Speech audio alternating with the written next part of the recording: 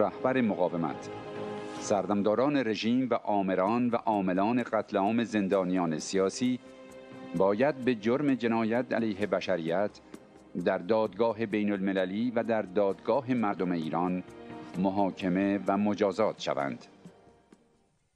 تا اونجا که به ما مربوطه و به مردمون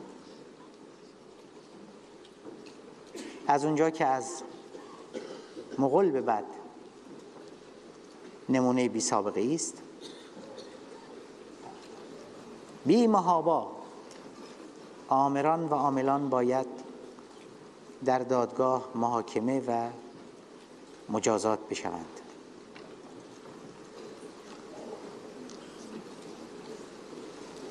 این حق مردم ایران حق جامعه بشری و حق مجاهدین و خلق اونهاست.